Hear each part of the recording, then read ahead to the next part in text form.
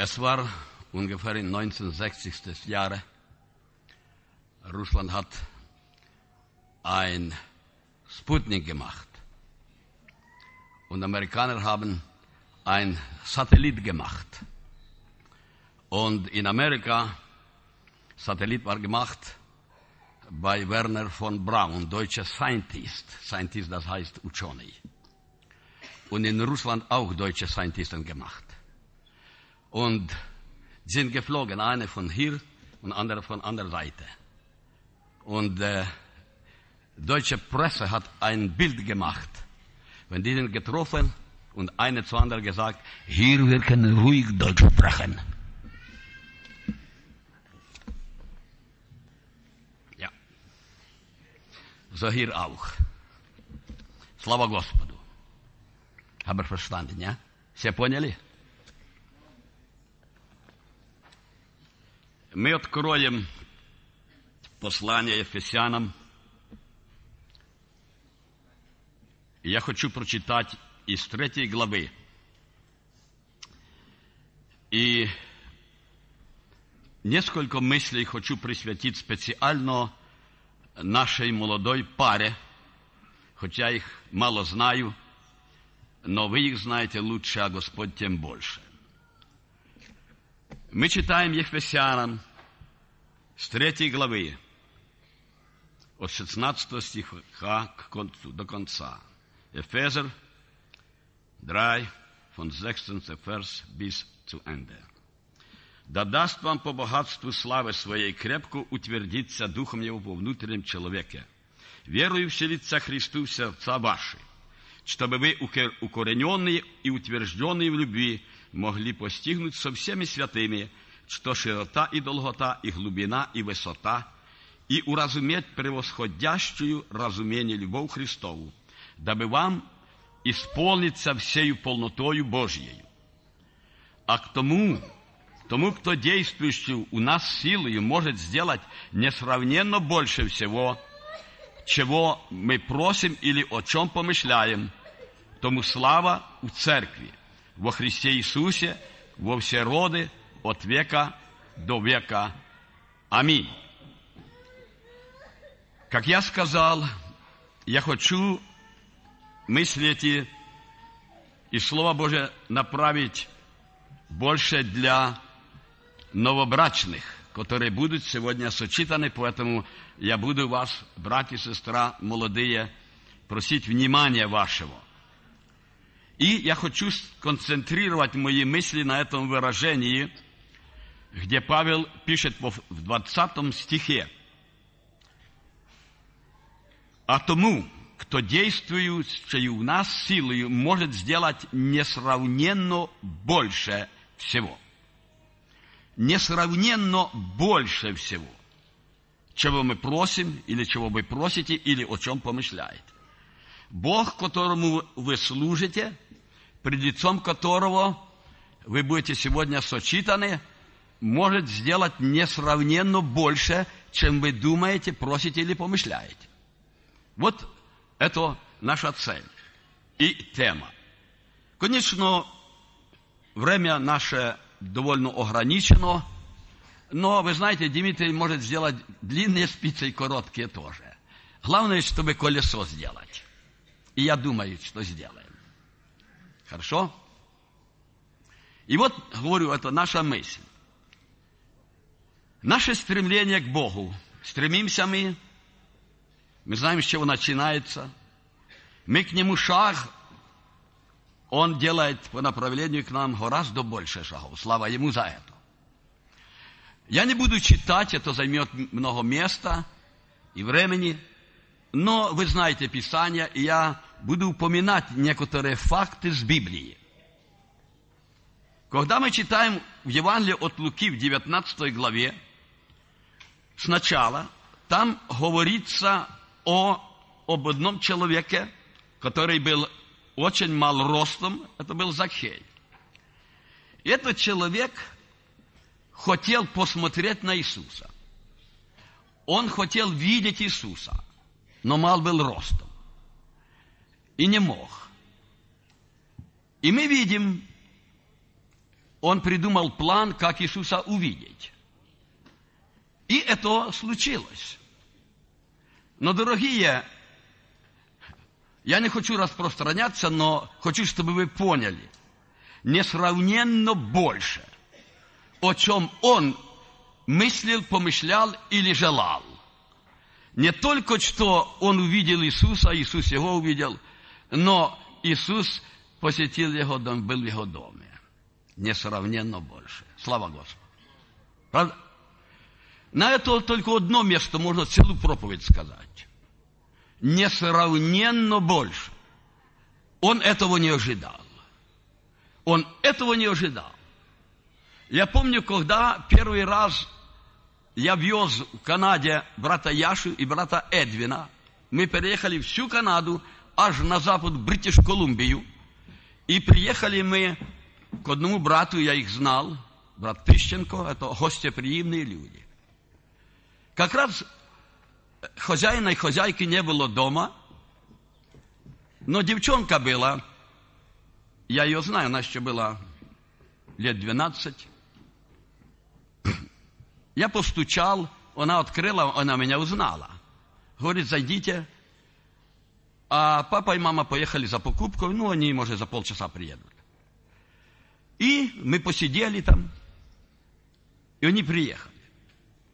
Приехали, смотрят, меня знают, а братья, братья чужие, Эдвин и Яша.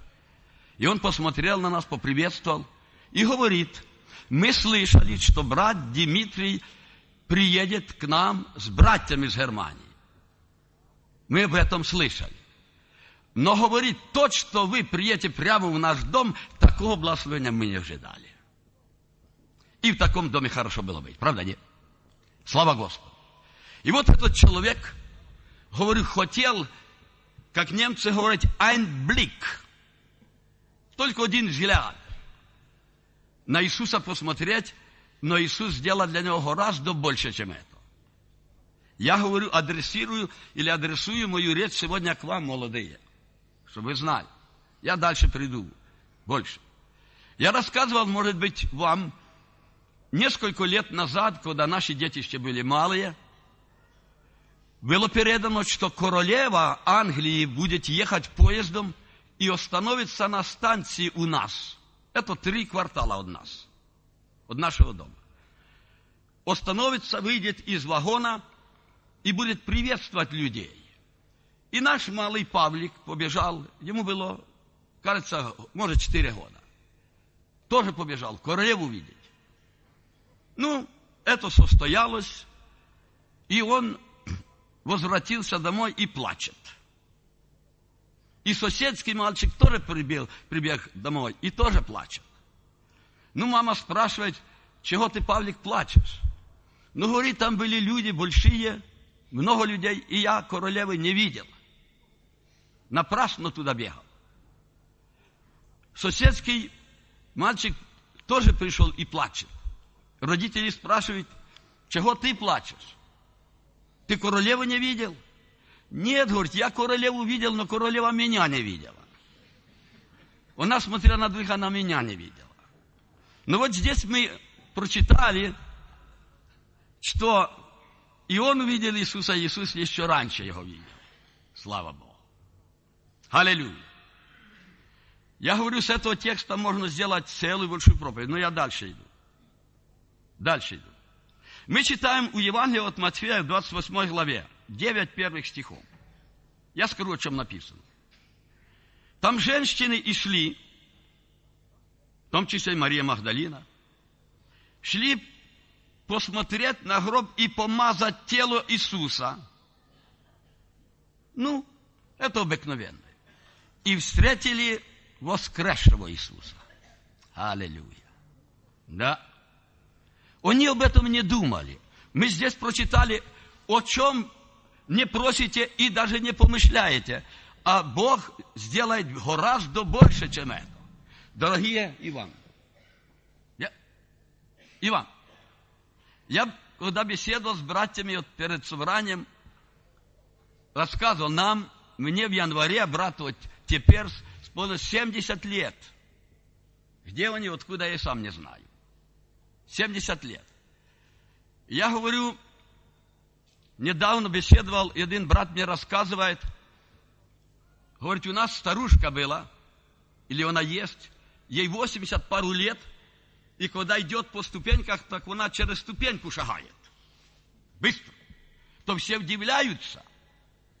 Сестра, как это в твоих годах ты можешь делать? А она говорит, вот в моей юности я любила служить старшим людям. Где могла быть им благословение? Помогать им. А они меня благословляли. А они меня благословляли. И желали мне и добро, здорово, и все. И вот этими благословениями и пожеланиями я живу. И вот когда я теперь был на Украине, и, конечно, развозил и муку, и гречку, и там и сахар, и рис, и другие вещи. И они, знаете, мне так благословляли, что еще, чтобы я еще сто лет жил. Так что не спешите на похороны. Хорошо? Нет? Не спешите. Слава Господу, братья. Бог, которому мы служим, силен сделать гораздо больше, чем мы просим и о чем помышляем. Аминь. И с этого можно сделать целую проповедь. Вы, проповедники, можете это сделать. Я уже сказал об одном, который думал, а, только Айнблик. Но там было больше, чем это. Слава Господу. То Бог так делал. Мы читаем в Евангелии от Луки в 23 главе очень важное место. От 39 стиха по 43. Иисус висит на кресте, и возле него два разбойника. Один поносил, другой унимал его. Говорит, мы то заслуженно висим, распяты а он же не заслужен. И мы там читаем этот разбойник, который сделал много зла. Много зла сделал. Но произнес такую фразу. Вспомни обо мне. Вспомни меня. Вспомни, когда войдешь в царство. Вспомни. Аллилуйя, Иисус. Иисус говорит, ныне будешь со мной в раю. Аллилуйя. Сравнить эти две вещи, вспомнить, и будешь на веки веков в раю. Что между ними есть, что можно сравнить? Ничего. Ничего. Но моментально, мгновенно Иисус ответил, я не скажу и миллионы, и миллиарды раз больше. Брат, сестра молодые, помните, будете Господу служить, я еще приду к этому – он даст вам гораздо больше, чем вы просите и помышляете. Слава Ему за это. Когда вы, братья, были в страданиях, в гонениях, на ссылках, у тюрьмах, вы хотели хотя бы раз накушаться. Я помню, как мы были, брат Эдвин, брат Саша, его зять, у Рочестер, Америке, и брат Саша свидетельствовал, там говорил – братья, когда мне исполнилось 15 лет, именины, и первый раз в жизни мама нажарила сковороду картошки, поставила и говорит, Саша, ешь до сытости. В 15-летнем возрасте я первый раз в жизни наелся картошки. Сегодня Бог дал нам больше, чем этого. Слава Ему за это. Но, братья и сестры, есть миллионы, которые и этого не имеют. Не имеют. И вот говорю, когда смотришь на это, ну что такого той человек сказал, кажется? Иисус отвечает, говорит, только вспомни о мне. Вспомни. Когда-то подобные слова сказал Иосиф, тому, кто был освобожден. Вспомни обо мне. А тот и не вспомнил. Даже не вспомнил, забыл. Но Иисус говорит, ныне будешь со мною в раю. Аллилуйя. Слава Господу. Читаем мы в третьей книге царств, у немецкой Эште в третьей главе от третьего стиха по четырнадцатый. Там Господь является Соломон. Является и говорит ему, что ты хочешь во сне, что ты желаешь. Он говорит, ты поставил меня над многочисленным народом царем. И чтобы мне мудро, разумно управлять, мне нужна мудрость. Дай мне мудрости. Знаете, дай мне мудрость. Не всегда люди этого просят. Вы знаете, когда танцевала дочь Иродиады и угодила Ироду, то он сказал, проси, что хочешь, и я тебе дам до полуцарства. И мы знаем, чего она просила. Правда? Не того, что Соломон просил. Соломон просил мудрости, но та пошла, спросила матери, чего мне просить?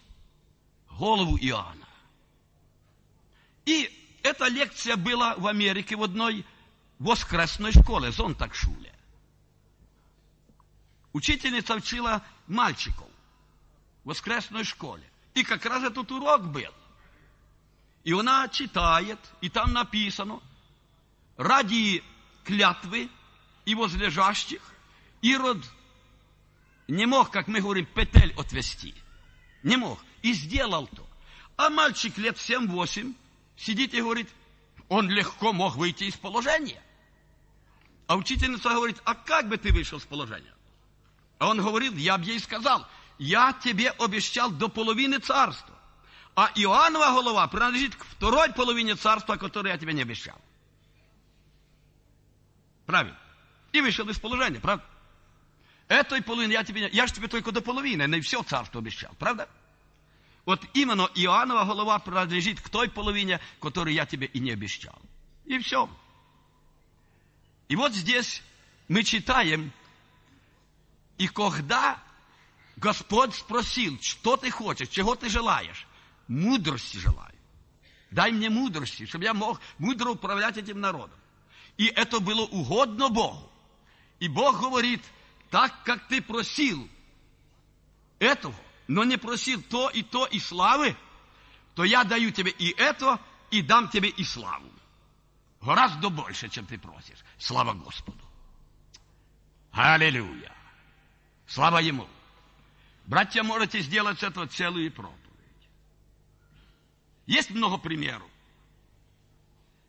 У нас в Канаде был один человек, он с польского рода. Я его хорошо знал, брат Материк. Он прекрасно играл на саксофоне. Я не, не слыхал, чтобы кто так играл на саксофоне, как он. Очень красиво играл. Талант на это имел. И 20 лет он играл у барах, на танцах играл. У него родственники, не родители, но родственники, были баптисты. И они, конечно, молились за него. Много лет. А он 20 лет играл в барах на танцах. А они молились. И молились за него. И вы знаете, что случилось? Этот человек уверовал, покаялся, Бог его спас, да еще и крестил Духом Святым. А этого они не просили. Этого уже они не просили. Понимаете? И они обиделись на Бога. Но Бог сделал гораздо больше, чем они просили. Еще и духом крестил. И сделал его проповедником Евангелия. И он играет на саксофоне для славы Божьей. Я слышал. Это можно заслушаться. Гораздо больше, чем они просили и помышляли. Бог сделал. Амин, братья. Мы, старшие верующие, можем сказать много подобных примеров, что было у нашей жизни. Слава Господу. Все это делает Он ради Христа на основании Его заслуг. Я прочитаю из послания римлянам из восьмой главы. Послание римлянам, Восьмая глава. Читаем 31 и 32 стих. Что же сказать на это? Если Бог за нас, кто против нас? Тот, который сына своего не пощадил, но предал его за всех нас, как с ним не, не дарует нам и всего. Кто будет обвинять избранных Божьих? Бог оправдает их. Это еще один стих.